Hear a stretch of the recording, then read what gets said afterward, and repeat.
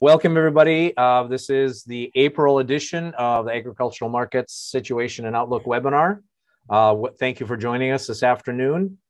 Um, we, have got, a, again, a full slate of discussion and, and, uh, and, and, presentations. Um, Dr. Parman does have some conflicts later on uh, during this session, so he will let him go first. Uh, and we will pause for just a little bit to see if you have any questions specifically for Brian. Um, and then if we can save the rest of the Q&A to the very end, that would probably work the easiest and best for everybody. So again, we'll, we'll do our best to try and answer the questions as they come up. Um, and with that, I will stop sharing and I will let Dr. Parman take over. All right, so today I have uh, uh, two parts to a presentation. First, I'm going to talk about uh, the latest and greatest inflation numbers that just came out. Um, that's kind of forefront on everyone's mind and what's going on in the macro economy. And then uh, our recent publication came out uh, yesterday on cropland values across the state.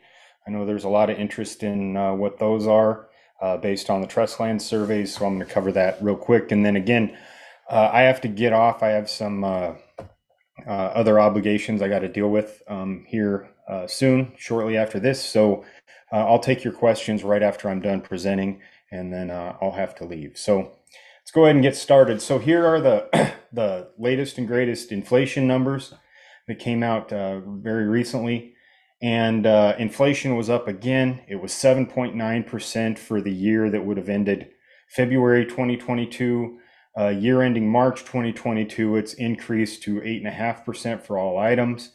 Uh, all items less food and energy, slightly lower than that. That's what they call core inflation. But energy energy prices remain high uh, and food prices have actually ticked up. Inflation on that, food and shelter items uh, uh, have increased, driving that inflation number up.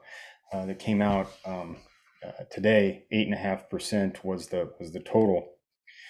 So I so this chart uh, I use is from the Federal Reserve. It's the yearly inflation rate, um, and so. 2021, some of those numbers still haven't been finalized yet, and obviously 2022 is the year we're in but I just put a line and a dot to show where eight and a half percent uh, inflation is on a historical time scale. And you can see you got to go back to about 1981 uh, to, to, to see inflation anywhere close to eight and a half percent. Uh, it's not the highest on record, eight and a half. Uh, that would have uh, occurred just very beginning of 1981 or so, approaching about 13 percent. But it, it is very high um, on a historical time scale. I mean, there's only a few years where it was where it was actually higher. And I, uh, the BLS uh, presents these uh, the last 10 years the monthly inflation rate and so this is not annualized this is actually how much imp- uh, prices increased or decreased in the last month and the highlighted ones that i show uh, for last year 2021 so if you look at this row 2021 you'll see these were the highest uh, in, in or as high or higher than any other month in the last 10 years that are highlighted in yellow. Well, 2022 is the bottom row, and I have them bolded. And one of the things you'll notice 2021's inflation rate, so this is for calendar year 2021, not the year ending March or anything like that, uh, was 7%. And so it's increased since then. And if you look at 2022, each month the inflation rate is actually double what it was starting out last year, calendar year 2021. So six tenths of a percent in January as opposed to three. Oops, skipped myself ahead. Eight tenths of a percent as opposed to four tenths in February. And then 1.2% in March, which is the highest of any month uh, in this whole entire pretty much table. Uh, and that's double what it was in March of 2021 when it was six tenths of a percent. So if that continues, we're kind of effectively looking at the potential for uh, if, if if it stays on this trajectory, double the inflation rate of seven percent we saw in 2021. So that remains to be seen. Three three months is not a uh, enough really to say where things are going to shake out this year, but it is starting out uh, much higher than uh, the 2022 starting out much higher than 2021 did, uh, essentially double. So that's prompting uh, the, the Fed to probably act um, and act more aggressively as these numbers come in. Uh, and, and, I show this chart. So the top chart shows the likelihood that the Federal Reserve will choose these two effective interest uh, federal funds rate. And before these num- this eight and a half percent number came out, so a few weeks ago, it was about 31% thought that they would only increase it a quarter of a point, and uh, about almost 70% said, you know, between uh, a, a pretty much a half a point increase. Well, after this number came out, it changed. It went from now 91% uh, are saying that that half a point uh, increase is going to occur uh, next month. And the longer range forecasts haven't changed that much, but um, it's looking like uh, folks are starting, the markets are starting to bake in uh, these these higher rate, more potentially more frequent and larger jumps in uh, interest rates come in the coming months and quarters. So that's one of the reasons you'll see these job numbers. You'll see job numbers come out and they're and they're pretty decent or pretty strong, and the market drops. Well, why does that happen? Because of, they're saying that well, if the job numbers are strong and inflation's staying high, then that's going to pro- that's going to uh, encourage the Fed to act even more aggressively than they would have in the past and hiking interest rates faster. So that's that's what you're seeing there. But one thing to keep in mind any action that the Federal Reserve takes in the next few months or so is unlikely to be felt uh, for, for quite a long time. And uh, inflation has momentum. That's one of the things about it is that inflation tends to have momentum. And in order to halt that momentum, uh, a lot of these rate hikes are going to have to happen and maybe have to happen more aggressively and more frequently in order to halt it. It just, it, it they're kind of in a wait and see on how, uh, how long this persists. So I want to shift gears now. I'm going to go ahead and shift to land values. And so the Minneapolis Federal Reserve uh, came out with an article where they discussed uh, land values across our district, which uh, Federal Reserve, uh, Minneapolis is our Federal Reserve district. And across the, the district, they had projected that cropland values, non irrigated, increased by about 22%, and cash rents for non irrigated cropland increased by about 12% across the district. So that was a district wide thing. That'd be Minnesota, North Dakota, uh, Montana, um, South Dakota, uh, mainly, um, that those those states. And then a survey came out earlier this year from the North Dakota uh, American Society of Farm Managers and Rural Appraisers chapter, saying that cropland in North Dakota had ro- risen 28%. Uh, and of course, the Red River Valley was the most uh, uh, pricey, uh, approaching about almost 5,500 bucks. Then then you have the southeast and the and the northeast, north central. So statewide, in in their as, uh, uh, estimate, cropland prices increased 28% for 2022, heading into 2022.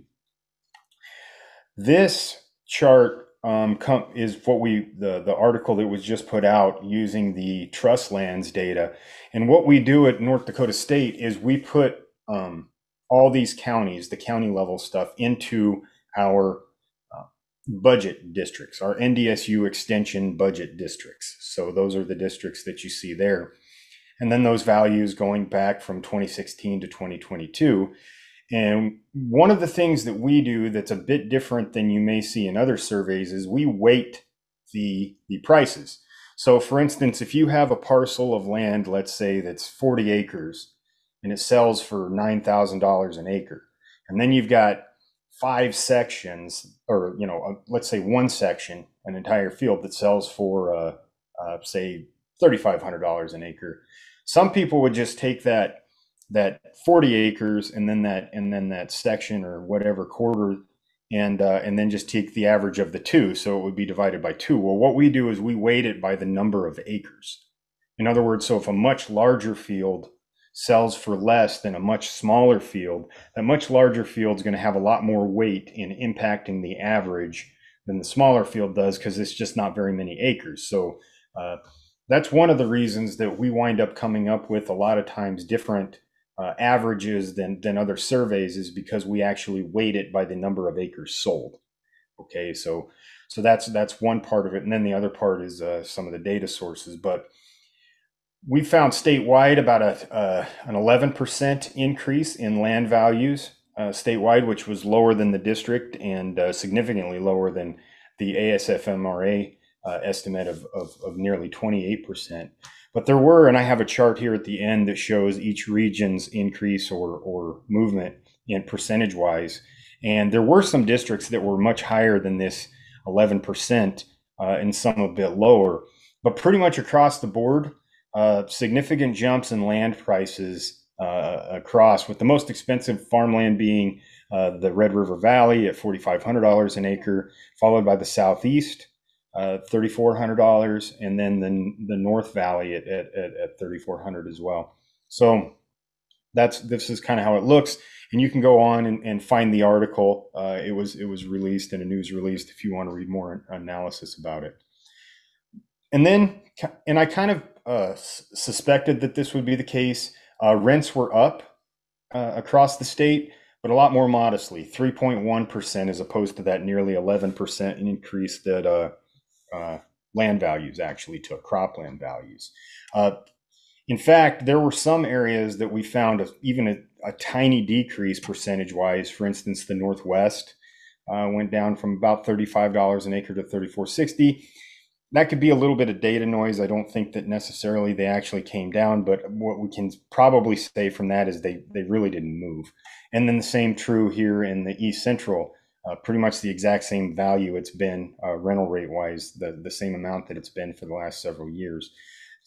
So probably we saw some movement there in the South Valley, um, but uh, otherwise uh, other areas, may, and then maybe there in the Northeast, but not a lot of movement rents wise.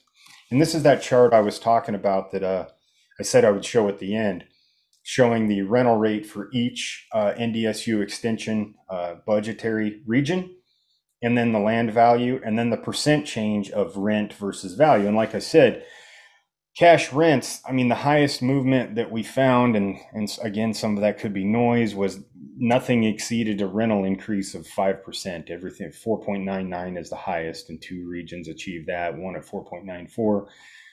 Several at, uh, let's see, almost two or three, two just over 3%, one at 2.85 and then we'll call the Northwest almost no change, down slightly, and then the East Central virtually no change, uh, almost zero. And then the values wise, uh, few areas around that 11, 12% mark. Uh, the Southeast made a significant jump at uh, 22%, but then the other areas, six and a half, uh, 5% there for the South Central and the South Valley at 6.7%. So a lot more modest gains uh, in in rental rates as opposed to land values, uh, and you see that there. And this one of the things that's significant is you know this is the first um, double digit increase that North Dakota has seen in land values in in in you know since you you have to go back to like 2014 2013 to have seen uh, increases anywhere near that high in land values with respect to rents, we don't actually have to go back that far, just back to three or four years to have seen a rental change of 3.1%. In fact, you know, they've been kind of up 3%, maybe down a few percent, and that some of that could be data noise. But what that tells me, for the most part, is rents have been holding steady and at least so far appear to be maybe inching upward, but but very similar to to what we saw last year. Values, on the other hand, uh, in, you know that's that's you get to a, an increase of 11 12% like we saw it you know just over 10% almost 11 it's a you're going to have a hard time saying that that was noise or anything else. There's definitely an increase uh, uh, that, that's occurred um, whether it's as high as the ASFMRA survey said at, at 28% or closer to the 11% that we thought um, based on these surveys.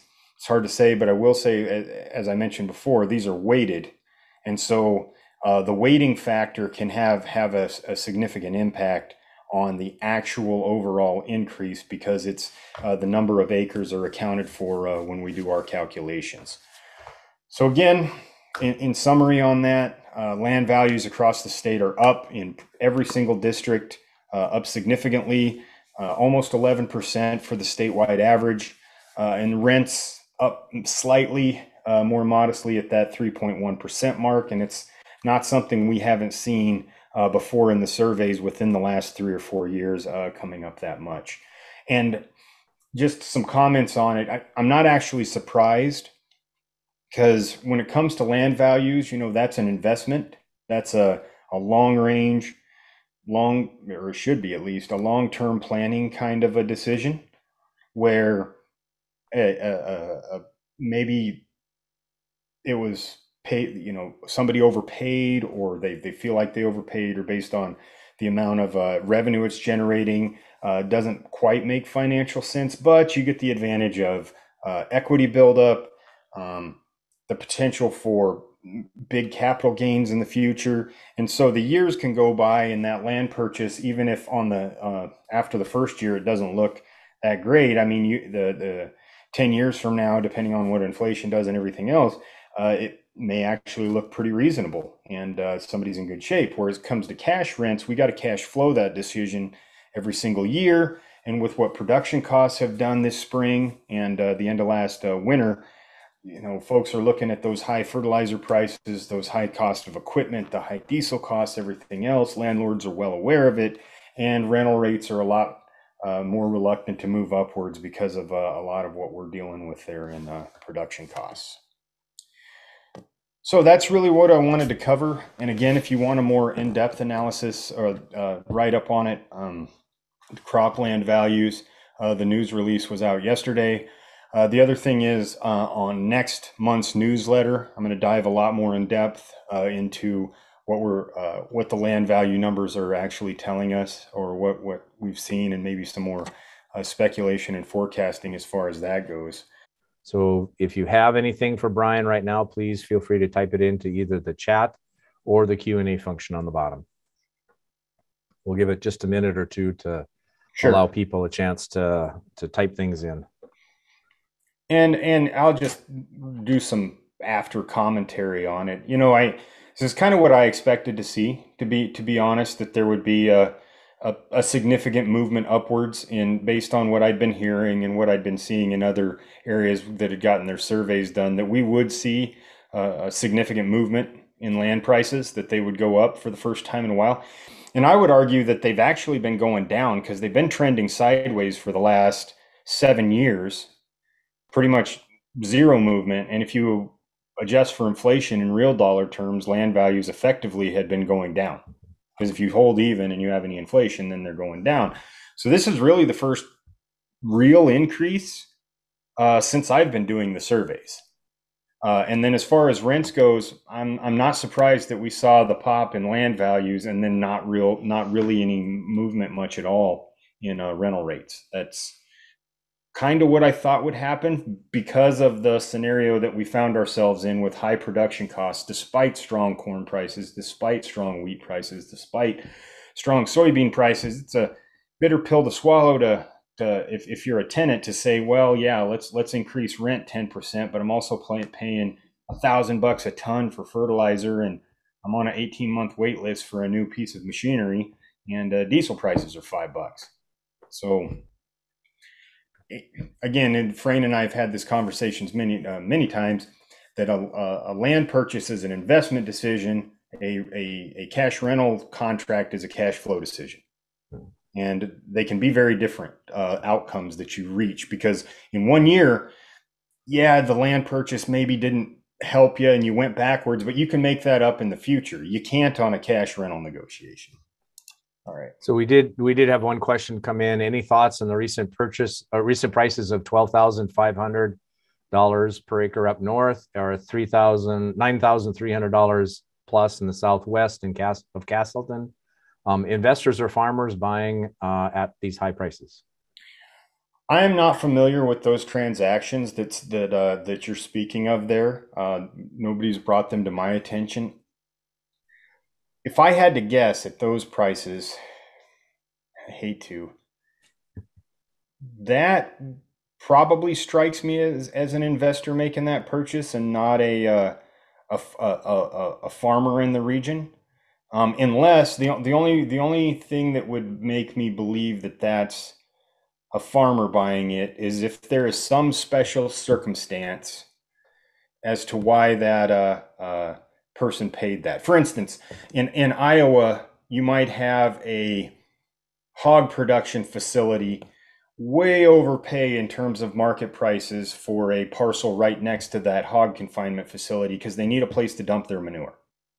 And even though they know they're paying more than than what they should, uh, they go ahead and pay it anyway because it's close and they're really not buying it to necessarily produce and make a lot of money raising corns and beans. They just need a place to dump their manure and, at any cost. They don't want to haul it all the way across the state or something like that. So, and, and I have a, an anecdote of our own family's farm where we overpaid for some pasture land because it was right in between two section pastures we already owned. We'd been renting it 30 years. The family decided to sell it. We overpaid by a hundred bucks an acre because it was worth more to us in our operation than it was anybody else. It's a kind of a utility thing that we we would we would get more value out of it so we could pay more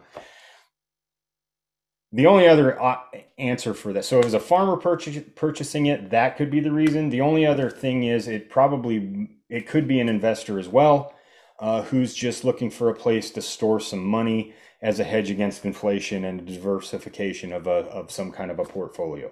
So But brian those pri- yes. Brian there was some comments in the chat um, that the that they were both farmer purchases. So they were both the farmer one, purchases. Yep yeah it was a farmer in castleton and in another comment both farmer purchasing were very large farmers.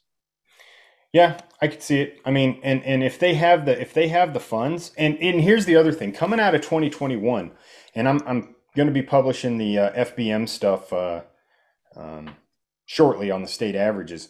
A lot of farmers made solid money in 2021. I mean, the best in in almost a decade.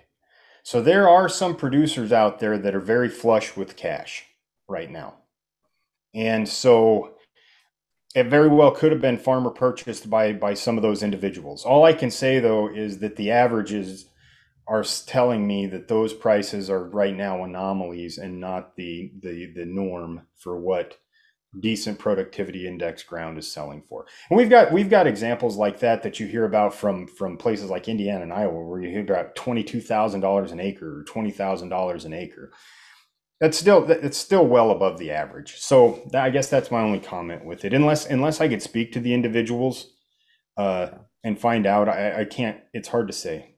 So there was another comment, just and then we'll try and move on. Uh, the Castleton land was very high quality, 92 productivity index. So it sounds like there's mm-hmm. some pretty good, pretty good ground.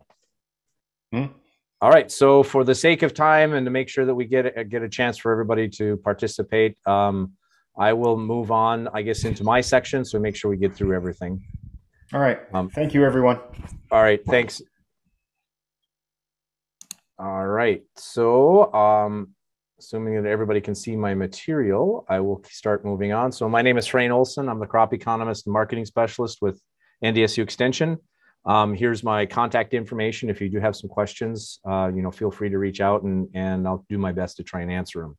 So I'm going to try and give a quick quick review and update on not only the April USDA WASDE report, which came out last Friday, but also make a couple comments on the prospective plantings report we got at the end of March, uh, and then end on a few comments about what's happening currently in Russia and Ukraine. So uh, just to give everybody some, again, reference points, um, this is a table I've showed before. Um, this shows the a pre-report industry estimates. So there's usually a survey taken of private analysts and forecasters on what they expect the numbers uh, for USDA to be published during the WASDE report.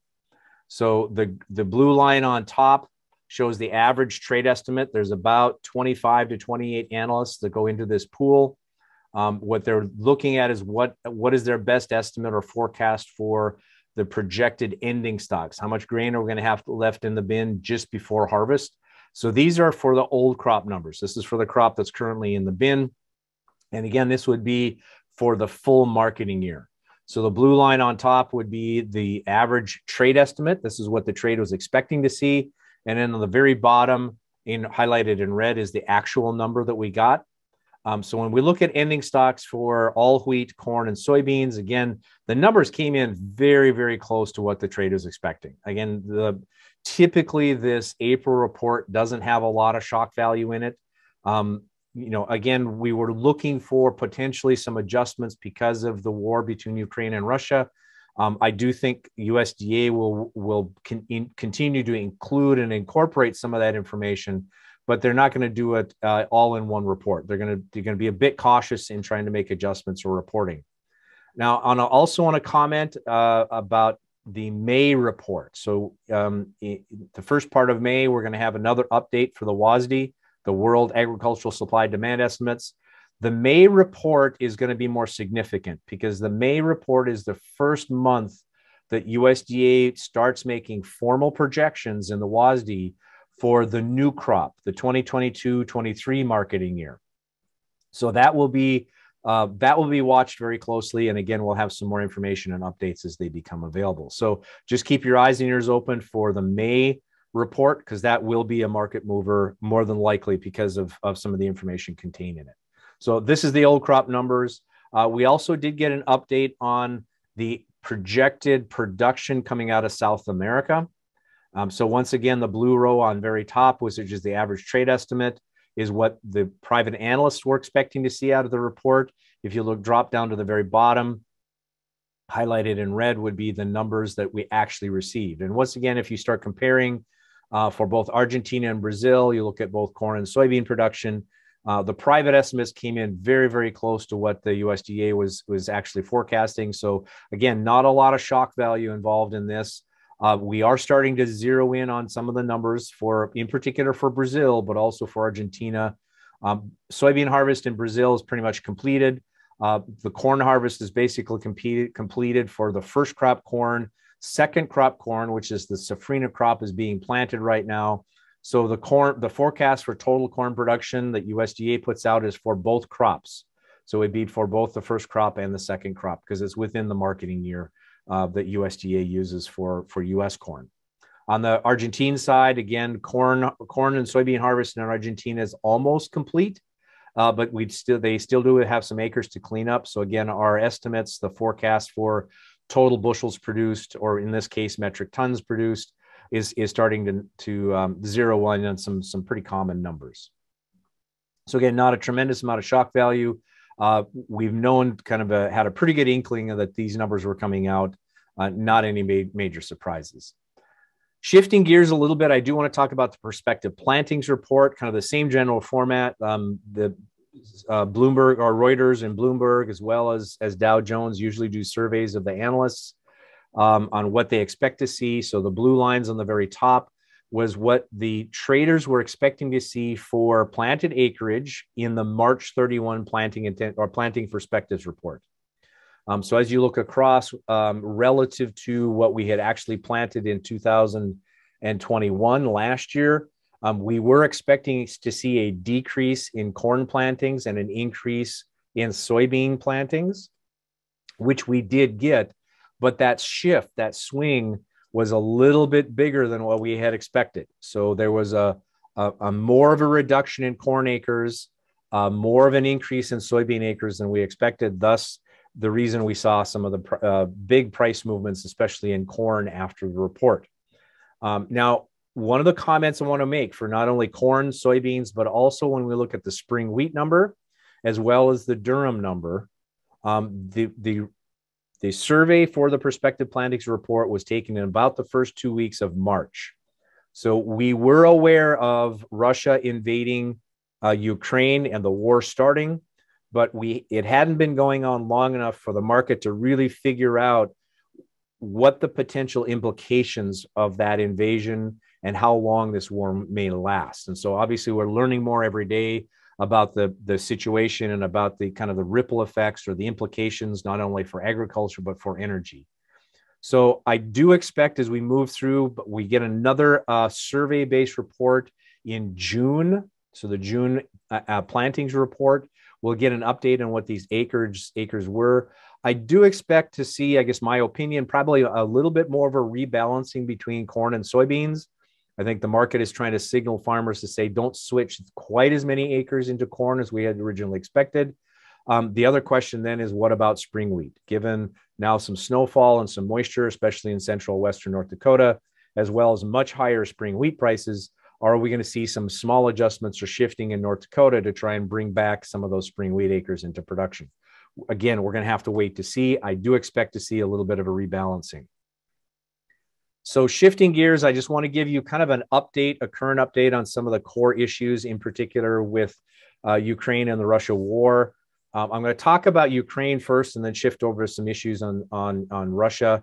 One of the things I think we need to start really thinking about. Previously, we've always thought about Black Sea, like Black Sea wheat, Black Sea corn, Black Sea barley, or feed barley. We, we've lumped Ukraine and Russia together because they are so common. They, they got very similar production practices. Uh, their cost of productions are, are, are, a little bit different, but somewhat similar. Obviously, they're shipping, um, loading vessels into the Black Sea at ports. They're literally within a few hundred miles of each other. So historically, we have thought about Ukraine and Russia kind of as a as as a as twins. But now, because of the war, those two are very separating pretty dramatically. So the conditions uh, going on in Ukraine are obviously very different than the conditions going on in Russia. And I think as we move forward, not only from a pricing standpoint, but also from a shipping and logistics standpoint, we are now going to have to think about Ukrainian wheat and Russian wheat as two separate uh, types of wheat. Now, the class of wheat, the quality of the wheat is going to be very, very similar. But when we look at pricing and accessibility and the ability to be able to deliver the product on time, we're going to think about Russia and Ukraine as two different kinds of markets. So let's review very quickly some of the most current information that I have anyway on what's happening in Ukraine. When we look at old crop grain shipments, again, the crop that was harvested last year for both corn, uh, malt, or feed barley, excuse me, as well as wheat. Um, so Ukrainian shipments have obviously slowed. Early on in the war, some grain had been diverted into Moldova and Romania to be loaded onto ocean vessels. So these were purchases that had already been committed and and you, the Ukrainian companies were trying to deliver on those purchases. Uh, there is still a little bit of that happening, but most of the current shipments of grain, some of the newer purchases, and the ability for Ukraine to be able to ship product out of uh, out of the country, the, the primary focus has really been shifting now to the rail system, and in particular, moving some grain products into Western Europe. Now, one of the big challenges, I think I mentioned this, this before, is that the rail gauges, the width of the railroads, the rails um, in, in the former Soviet Union countries is wider than the, than the gauge of the rails in the rest of Western Europe.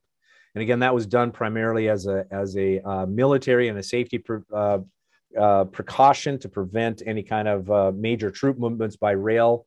Um, so they purposely made the gauges different.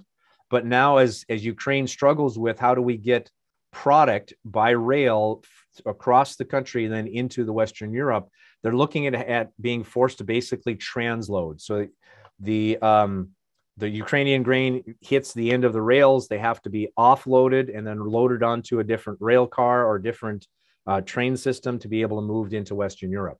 Now they are starting to make make inroads into that, kind of trying to get the product a movement movement a lot smoother but it is being somewhat complicated. Okay. And we got to understand that. The other issue that I've read a little bit about is that rail cars, those cars suited for moving grain over large distances. Um, they, they have grain rail cars available. It's just, again, making sure that they're in the right place at the right time, understanding that, again, troop movements and military movements take priority on the railroads. For new crop, there's been a lot of discussion about how many acres and uh, uh, are actually going to get planted in Ukraine this year, and then what does that translate into production and yield potential? Again, given the fact that it's getting very difficult to get the fertilizer and the chemical and the fuel that's needed to be able to put a crop in, as well as maintain the crop quality. Um, right now, the current estimates are anywhere from a 30% to a 60% cut in production, reduction in production. Um, and, and those numbers do vary a little bit by crop, specifically by crop. Uh, again, somewhat depending upon the region that the crops are growing in. So we don't have a really good read yet on what the potential reduction is going to be by crop specifically, but we do have this pretty wide range where there's a recognition we're going to have lower production coming out of Ukraine. They're going to continue to have some shipping problems because of the ongoing war. Uh, but how large will those be and and and will there be able to to make some workarounds shifting to russia very quickly um, old crop grain movements again this was, would be crop that was harvested previously uh, they are being slow uh, they're slowed down, but they are still being able to meet the requirements. So if there's been grain sales previously and there's contracts in place, the Russians are again are trying very hard to be able to fulfill those commitments. Um, one of the things that is complicating things, in particular for Russia, now most of the major ports for Ukraine uh, for loading ocean vessels, uh, again loaded in the Black Sea and then eventually transported into the uh, Mediterranean and and off to its final destination. Um, most of the major loading ports in Ukraine have been closed. Uh, the, the Ukrainian government closed their loading facilities when the war began and they haven't reopened. So either they're rerouting it into, into other countries or actually trying to move it by rail. However, for Russia, their major Russian, Russian um, loading port, ports are still open. Um, they are still active. One of the, there was a recent report actually out yesterday talking about ocean shipping rates, in particular for Black, Black Sea vessels.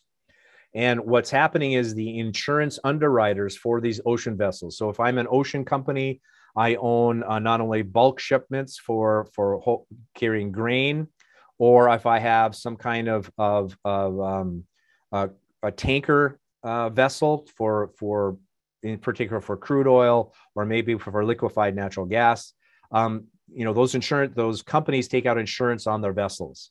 Well the insurance rates for ocean vessels transiting the black sea have gone up significantly the example that was used in the in this particular article was that the cost for a 1 million barrel uh, oil tanker so this would be a standard size oil tanker loaded in one of the major ports in russia and then transported it to italy and, and unloaded the cost just for the freight, the ocean freight, is currently about $3.5 million. That versus about $700,000 before the war began. So obviously, there's a huge risk premium. That's not necessarily an area that I would want to be the captain of a vessel going through a military zone. My point in bringing this up is that the cost for ocean freight, at least for this particular region, has gone up fivefold. So this is one of the things I think Russia will continue to struggle with, not only for their for their petroleum products, but also for their bulk grain products.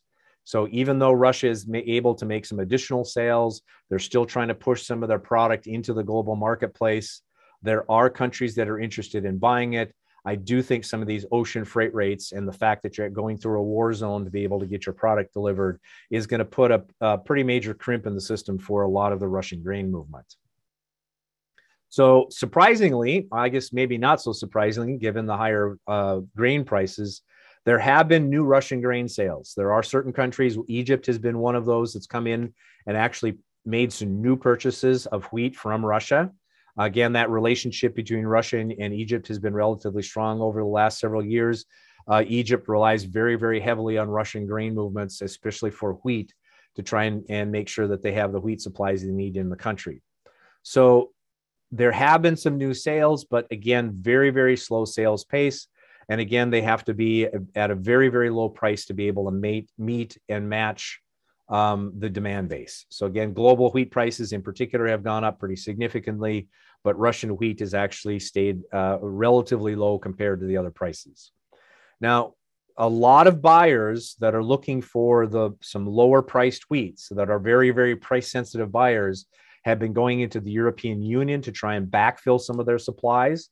Um, right now, most of the sales have been for French wheat, uh, which has some similar milling and baking characteristics to the hard red winter wheat coming out of Ukraine and Russia. So, again, part of it's a pricing thing, part of it's a logistics piece, but also part of it is a quality. Um, the quality of French wheat is actually more similar to probably a soft red winter wheat in the United States versus a hard red winter wheat, but it can still make an acceptable bread product. So we've seen an increase in French wheat sales, at least most recently. Uh, I would say really European sales because uh, France, uh, Germany, and the UK are the three biggest larger free, three largest exporters of wheat, with France being the largest. So people are rerouting, trying to find some alternative supplies, some alternative supply chains. The challenge we have coming out of the European Union is they don't have the volumes necessary to be able to fully refill or backfill all of the sales coming out of the Black Sea. So we're still short globally on, on typical or normal wheat supplies in particular, but also corn supplies, as well as feed barley supplies, supplies because the French uh, do sell a lot of feed barley. One, my, my last comment, then I'll hand it over to Tim. Um, India is now also emerges emerging as a wheat exporter. Um, depending upon the year and the time period, uh, India produces a lot of wheat. They don't don't always have enough for export, uh, but because of a record large uh, wheat crop in 2021, the last year's numbers, um, as well as some pretty large government-owned stocks, they are now starting to sell more volumes into the global market. Uh, so some of the the buyers that are very price sensitive are turning to India as an alternative wheat supply. But again, volumes are relatively small compared to the volumes that would normally be shipped out of the Black Sea. The other thing that that is, I think, given the Indian government some, um, I guess, uh, uh, uh credence or, or ability to be able to, to to increase some of the export volumes, is that there's also expected to be record wheat production in 2022. So again, uh, India's had a couple of really good years. They have some extra wheat around. With today's wheat prices, they're saying this is an opportunity to try and get some of our wheat reserves lowered. So with that, I will stop sharing. Um, I'll hand my my mic and everything over to uh, Tim Petry, and he'll go through some of the information for the livestock sector. Well, good afternoon, everybody. Uh, Tim Petry here. I'm going to talk uh, about uh, uh, several different livestock, and mainly I want to show you what's happened compared to last year. Uh, prices are back up to 2015 levels for most livestock, and I know in some cases it doesn't seem like that because uh, costs have went up, but uh, prices are higher. And then also, in some cases, show you the impact of uh, the uh, Russian-Ukraine situation that uh, and how really the big impact then has been on feed and corn prices and and how that's affected too. So we'll move along here. Start off with uh, fed steer prices and uh, maybe spend a little bit more time in this chart like I always do showing you the keys because all my slides are color coded the same way. And so uh, just moving along there on the bottom in the middle, the green line, I like to put the last three years on a chart because to give us that perspective, and if it's happened in the last three years, it could happen again. So the green line is 2019, the purple 2020. In some cases, I do a five year average. So that's the purple line, or else it's 2020. Then the light blue line or the blue line there is always last year and the red line is this year.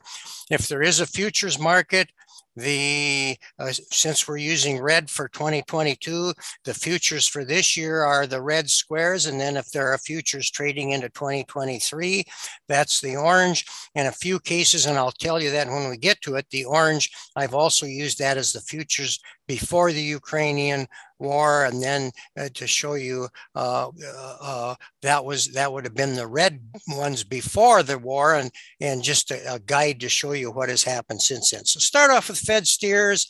Uh, again, where you, there's with the starting on the left-hand side of the chart there, you see the red line. Uh, we started off significantly higher than the blue line last year to the tune of $30. Uh, prices continue to go up throughout all last year. And so uh, by now we're about $20 higher, and we did uh, back off some here recently because of the things that uh, Brian talked about, inflation and, and so on, and high costs of things. And so that's kind of caused uh, uh, fed cattle to kind of stall out here. But if you look at those red futures then all across there, uh, we do have that normal seasonal pattern where they do go down into the uh, in the midsummer, and so you see back down to 136 there by at the June futures. But then we, you know, we keep that ten dollars higher by midsummer all the way through the end of the year, back up to 150, 10 dollars higher at the end of the year, and then move to there are 2023 futures. So then we add another 10, 12 dollars on them to begin with, and that is simply uh, based on that we've had three straight years of cow herd liquidation. Uh, this is the first year, 2022 is the first year that uh, in the last several that we will ha not have record beef production.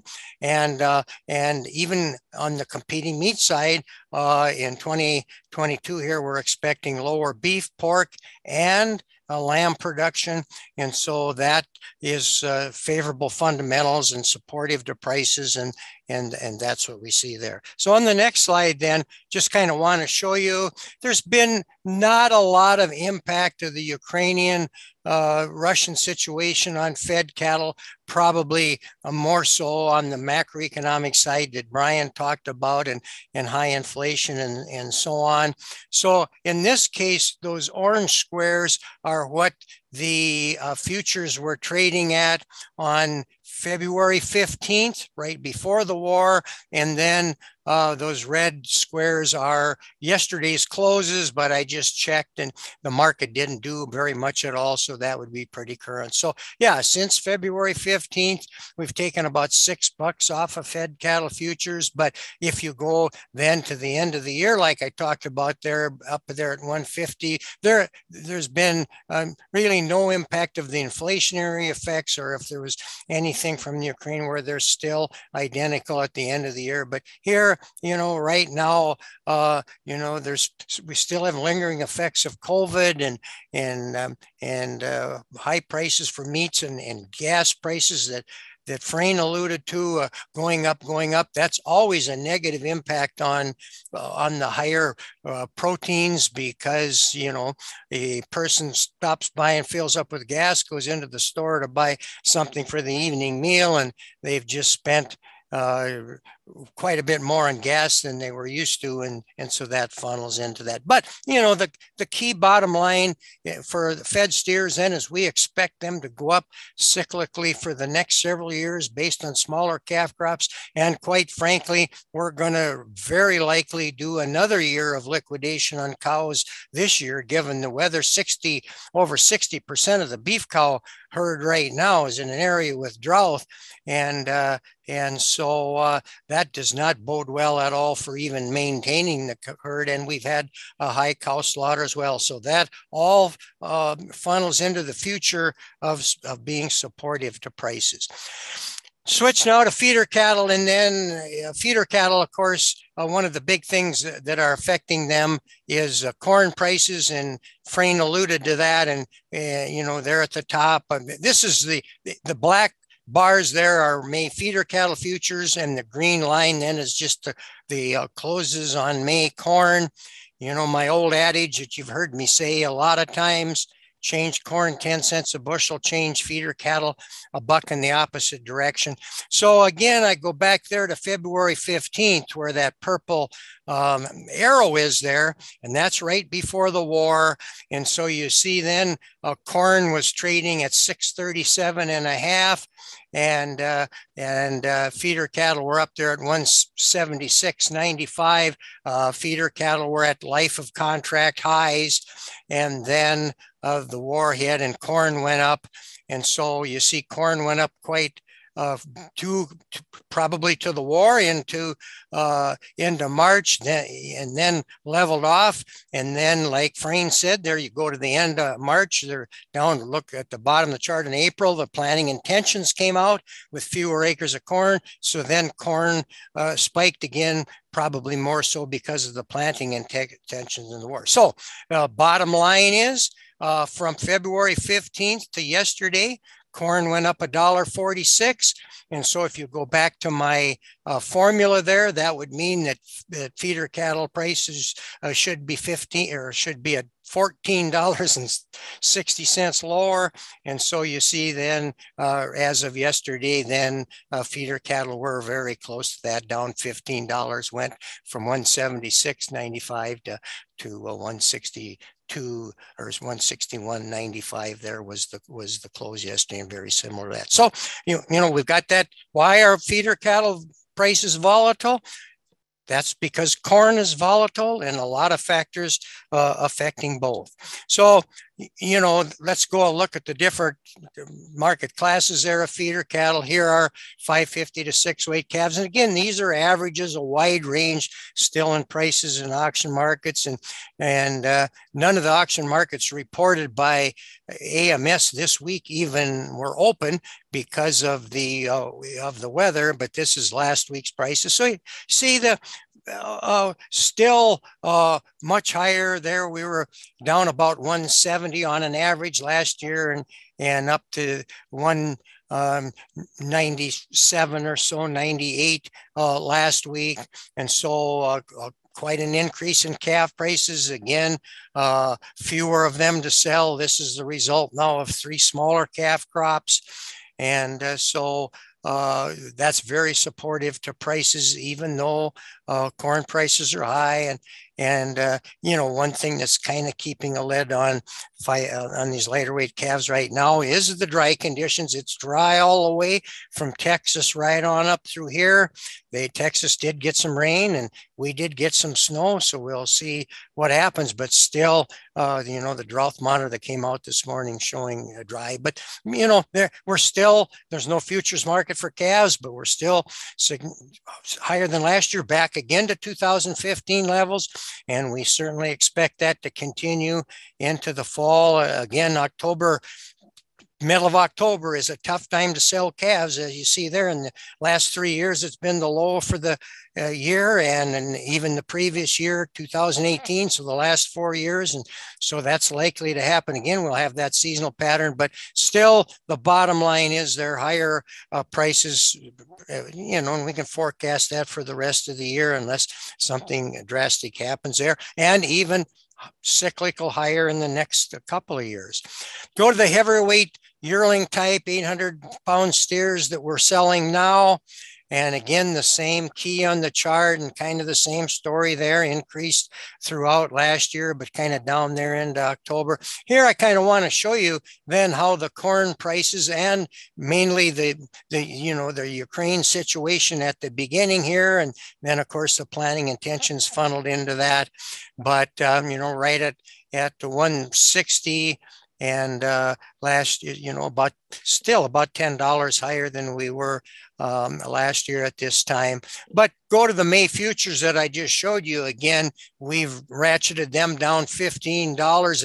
Our expectation were those orange bar uh, squares up there. That was what we were on February fifteenth, and and so uh, at least in the nearby, we've taken fifteen uh, bucks off. Uh, however, when we go throughout the year, it does narrow down to about seven and six seven dollars and sixty and change difference just since February 15th in the fall futures. Although they're still up there about uh, 180 compared to they were 150 in the you know late October there uh, last year, and then they they did come back. And then way on the left hand side, that uh, that's that square without filled in that's what the actually the january and march futures are trading at uh, 180 for uh, uh, next year. So again kind of the same story there higher than this year. The one uh, market class that has been helped by uh, by inflation and high gas prices and that are uh, call call prices that seasonally this time of the year they usually do go up after again reaching fall lows when we PG check and sell all those cows. And so uh, cull cow prices have went up even more so than they usually do on a seasonal basis. And that goes in that hamburger is selling very very well compared to the higher uh, loin cuts and so on on beef and a big demand for hamburger and and uh, and, and not getting as much in from Australia because they're in, in herd rebuilding. So uh, that funnels into cow prices. And the other thing I just want to mention, my series here is those 85 to 90% lean cows and you see in the top in Montana and South Dakota, there isn't uh, cow prices are not reported by USDA in North Dakota. And what these 85 to 90 percent lean cows now. They're old cull cow, uh, uh, broken mouth cows that have had a calf on them all the previous year. And so they tend to be below the market. Uh, producers sometimes say, Tim, I'm selling cows for more than that. And I agree with that. I've just on the right hand side, then, you know, I've got a market report from last week. And yeah, th- this was towards the end of the, the bottom of the range because these are old, thinner cows. But, you know, we've sold cows last week, you see up in the 90s there are a lot, a lot of cows selling in the 80s that are uh, fleshier and so on. Maybe we're younger cows with bad bags or the lost a calf or something. But the cow prices then have responded nicely in spite of about 17% higher beef cow slaughter this year and last year. Again, it's very dry down in the southern plains. They're liquidating some cows or at least selling cows earlier than might have went in the fall. So this isn't uh, lower supplies. Actually, we've got uh, stronger supplies, uh, but it's all uh, demand and and demand for hamburger and and and the cheaper cuts. Go to the hog side. Uh, um, again, here the uh, kind of the same thing I showed you before on and uh, and uh, hog prices again seasonally usually go up into midsummer and then go down into the fall with the with the bigger runs we have in the fall and the shorter supply of hogs in the summer. And the purple line there shows the big impact on covid and you know only $50 carcass hogs a very tough year and, and so producers cut back uh, like i said we're reducing reducing uh, uh, pork production this year, a really tough year in 2020. And then uh, with that, even that cutback funneled through to quite a bit higher prices last year. And uh, so far have been above last year by a little bit and, and kind of right on the, the, uh, the futures, the red futures are yesterday's closes saying, you know, by midsummer we'll have a $120 hogs and and staying above last year as well. And actually, since two, since February 15th, the, the gold ones there, actually we've seen a little bit higher uh, hog prices. So uh, no impact there from the war. And again, pork is a little bit uh, cheaper than beef there. And we're, we're short. Uh, the hogs and pigs report, new hogs and pigs comes out quarterly, just came out at the end of March and was uh, a lower number of hogs than the trade was expecting and been uh, no buildup of, of sow numbers. The breeding herd and all across the board is down. So lower supplies there certainly supportive to prices. Go to the lamb side, kind of similar story here. My purple I know is 2016 to 20 average, but uh, lamb prices struggled in uh, you know back in in uh, in 2020 in particular. But uh, last year rebounded very nicely as restaurants, particularly white tablecloth restaurants on the east and west coast and so on, came back on board. And and uh, you know another thing, uh, lamb was kind of helped by the pandemic as well because there was lamb at the meat counter when they ran out of other things. So people said, "I'll give it a try," and they did and liked it. And so uh, and we have the strong uh, ethnic uh, demand as well. So lamb prices have been uh, higher than last year, and and uh, and uh, you know we expect uh, lamb prices to stay fairly strong. Again, they're going to be impacted by inflation probably more than the other commodities because they are the highest price protein. But again, particularly the holiday season right now, a good demand for lamb and with the ethnic sector and so on. So uh, good lamb prices there. A feeder lamb prices compared to last year are not quite as high, and that kind of just goes back down to the higher uh, corn prices affecting them as well. So. Uh, just finish up here. Uh, you're all aware of avian influenza and seen the reports about egg prices and so on. And and so uh, just on the upper right or upper left hand corner there, show you what's happened to wholesale egg prices in the last month. You know, in the middle of March, the wholesale price of eggs here in, in the Midwest were a dollar forty, and that's went up double. It's twice as high, up to over over two eighty, almost three dollars, and so that's funneling you know, over into the retail level as well. And so, you know, and then we have the peak demand of the year right now, right before Easter as well for eggs. And so you see on the bottom, egg prices usually do spark up into April right at Easter and then fall off. But the dramatic increase this year was due to avian influenza and, and, and impacting uh, the uh, egg layers way more than the broiler industries uh, so far. And, you know, Iowa's the largest, is close to us. Get a lot of eggs, and Minnesota's big too. And and the uh, this central flyway snow geese have been affected, and and so has affected that. So you see uh, those higher egg prices right now. We just uh, have to live with them even this Easter and maybe some stores will kind of loss leader, but you can expect to pay higher. But you know, on the top there, I have bad news that way and egg prices, and good news the other way. Our uh, NDSU Meat Lab, we just had a big research product and project, and they did slaughter a lot of lambs up there and had a lot on hand to to sell and so they have an easter special and so uh, they were selling leg of lamb for 3.99 again the lowest price probably for uh, quite a few years on that so uh, that's the good news at least for me i got a leg of lamb but we also we're going to spread it around also going to have ham for easter and i have a son-in-law that makes a real mean prime rib so we're going to have a lot of variety there. So with that uh, happy easter to everybody and turn it over to ron and uh, let him talk about some new USDA programs there. Okay, hopefully everybody can see that. Um, another uh, ad hoc farm program to talk about. Uh, we've been kind of waiting for uh, for USDA to, to get their act together. They said they were going to simplify some things, and and this is based on uh, on the uh, PL uh, Public Law 117-43, and it actually targeted 750 million to assist livestock producers. Okay, more acronyms to remember. I do have a few slides here with a lot of words on there, but I won't go through everything. I just hit the highlights. You can you can download this if you want to read all the details.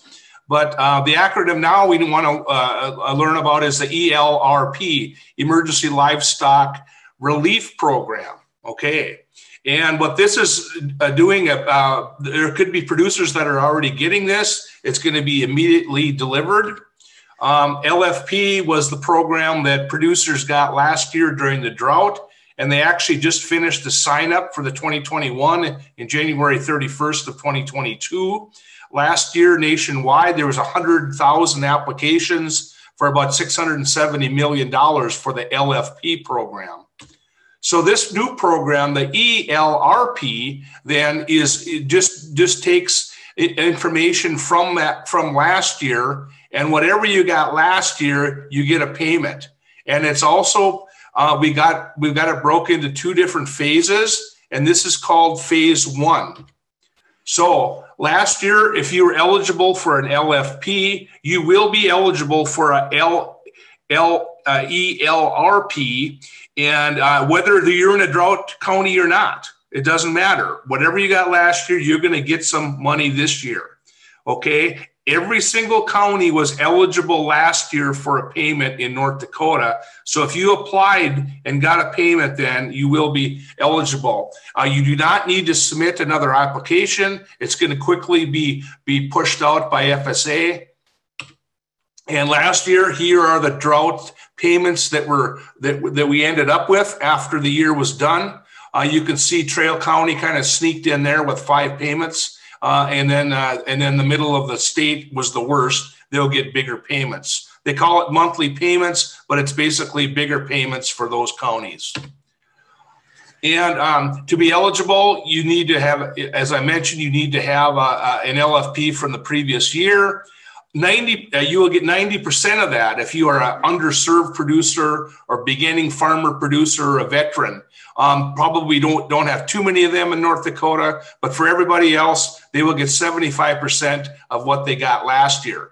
It's estimated that the usda will be paying out 577 million for this program right now uh, as you remember um, these are the in, uh, based on the drought monitor. These are the are the are the triggers that trigger the payments for the LFP program. And I'll get to more of that in a little bit. This is just for your own information if you wanted to download that. Um, the current stats um, as of April 4th uh, from last year, there was 11,000 applications of LFP pay, paying out 82 million for the state. Now, just tomorrow, now, April 15th, the new grazing season will start. So the new 2022 LFP program will, will start. Right now, the current drought monitor, there's five counties that have hit D3. Billings, Divide, Golden Valley, McKenzie, and Williams. And uh, if you hit D3 uh, at any point in time, you are, are automatically going to uh, qualify for free payments. Um, so tomorrow, people could actually apply for those three payments, three mo- monthly payments. There is a phase two for this program. We really don't know what it's about yet. They're just going to kind of get more information, see how if the, the drought develops, and kind of go from there, kind of a flexible, fluid plan. There also is uh, we've been getting a lot of calls on this. When when is this uh, uh, assistance for crop producers going to come out? And we still really don't know. But what we did find out was that it's going to be two phases again. Uh, the first phase will likely be attached to crop insurance. Uh, we don't know if it's going to be whether it's based on the crop insurance proceeds you got you have gotten. But if you had crop insurance or NAP, you probably will. Uh, they're probably going to push out some initial payments fairly quick. And as before, the phase two will be kind of based on conditions that develop. Um, there is, I wanted to mention another program called ELAP for uh, livestock producers. And this is for people that, uh, that they will get benefits based on their eligible losses last year uh, for, haul, for feed hauling compensation. And it will not, it will not be, uh, it, it, will not, uh, not only be retroactive for last year, but it will be in effect for this, this year and subsequent years. So with that information, I just thought I would share that with you. Um, the USDA just announced this lately, and uh, any more information found, uh, can be found at uh, farmers.gov, usda.gov, and you can also contact your local FSA for more information. So thank you. All right, thank you, Ron. So I know we've run just a few minutes over here, but um, I wanted to make sure, are there any questions uh, that you might have? please feel free to use the the chat function or the Q and A. Uh, type those in, and we'll try and get to them as soon as possible. Um, again, I'll give just a minute or two here for people to be able to type that in. Um, again, I just want to one more time to thank you for uh, joining us today. Uh, we do have these uh, webinars once a month. It's usually the, the first Thursday after the WASDE report. So we try and provide some information and update and analysis of what happens within the supply demand estimates from from USDA. So be looking for a notification on that. Um, and we also like to, uh, again, thank you for coming. Um, there's also a monthly newsletter that we've been trying to put out. Uh, again, if you've registered for this webinar series, you should be on the list serve or on the list to, to receive that. Um, there's no no fee or any charge for that, but we do we send it out uh, approximately once a month. Um, so we'll just again give one more chance for everybody. Uh, there's a thank you that came across. We appreciate again your your participation. So if there's anything, uh, feel free to to uh, to type that in now. Um, I know that in in again speaking for all of the other presenters, if you do have additional questions that come up later, uh, you you all know how where we live. You all know how to contact us. So don't don't feel uh, don't hesitate to contact us and feel free to to visit with us about any kind of questions. Looks like there is one question that came in. Um, this is for Ron. Um, uh, there's a push for these uh, carbon programs lately due to the current administration focus on climate change. Anything wor- worth looking at or to take advantage of? Well, as far as I know, that this is a, a big uh, push from the, uh, the, this administration is carbon programs, and of course we did have that five dollar carbon carbon program. Um, it, for North Dakota, uh, uh, I, I don't know exactly how it's all going to pan out. We don't have enough information, but yes, it's something that we will have to keep an eye on, and I'm sure there will be programs that deal with it. About all we know right now. And and I would also add to that that I, I know Dave Ripplinger is also uh, following the carbon markets um, and some of the private products pretty closely as well. So. Uh, I, I know that he will have some information as as this moves forward and we learn more about the different private products as well.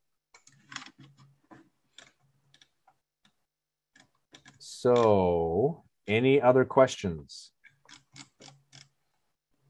All right. Well, hearing none and seeing none, again, thank you for your participation today. And I hope everybody has a great holiday and uh, and the, the, the weather improves and we finally get spring.